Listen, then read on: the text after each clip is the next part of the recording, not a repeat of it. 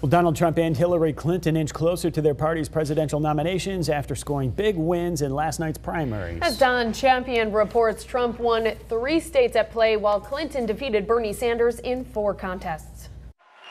Donald Trump continued his winning streak last night with primary victories in North Carolina, Illinois, and Florida. We're going to win, win, win, and we're not stopping. Trump's win in Florida earned him 99 delegates alone. It also ended Marco Rubio's campaign. While we are on the right side this year, we will not be on the winning side.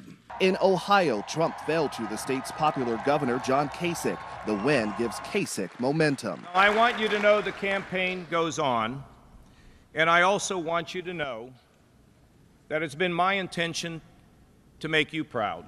In Missouri, the race between Trump and Ted Cruz is still too close to call. Only two campaigns have a plausible path to the nomination ours and Donald Trump's. On the Democratic side, Hillary Clinton trounced Bernie Sanders, picking up big wins, including here in Florida. Now more than ever, Clinton is eyeing a fight with the GOP frontrunner. Our commander in chief has to be able to defend our country, not embarrass it. Even though he is still trailing in the delegate count, Sanders believes he can win the nomination. You do not have to accept the status quo. We can do better.